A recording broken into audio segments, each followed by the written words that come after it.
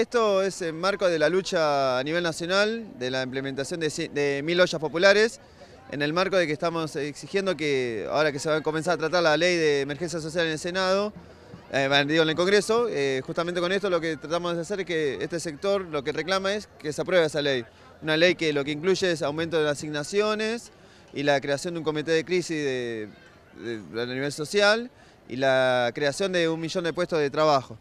con a su vez un plus de que sería un salario social complementario que aseguraría a, cerca de un millón de personas un ingreso básico para paliar esta situación que se está viviendo. En el día de hoy estamos haciendo acá el 750, la idea es ahora marchar al municipio y a su vez nosotros Barrio Pie con otra organización estamos también en la baja autopista, también como para dar una señal.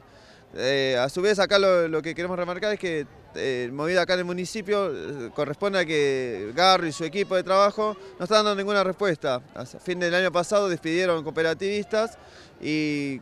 nunca quedó claro cómo fue eso. Y lo que estamos viendo es que cada vez en los barrios hay más gente que se acerca a pedir un puesto de trabajo en una cooperativa, hay más gente que se acerca a comedores. Por eso mismo estamos esperando que den respuestas el municipio. Y yo creo que la falta de trabajo es indispensable Vemos que cada día se va terminando eh, la fuente laboral, eh, los compañeros van asistiendo cada día más al comedor, el comedor de los carreros no funcionaba, ha comenzado a funcionar el día lunes en la cual 60 familias están yendo a comer a ese comedor, eh, gente que estaba trabajando en la construcción, ya han vuelto, fueron despedidos y han vuelto a tomar el carro y están trabajando en la construcción. Yo creo que estamos viviendo momentos difíciles en la cual eh, estamos peleando para que esta lucha eh, llegue al corazón de los, de los responsables del señor intendente en la cual pueda solucionarlo.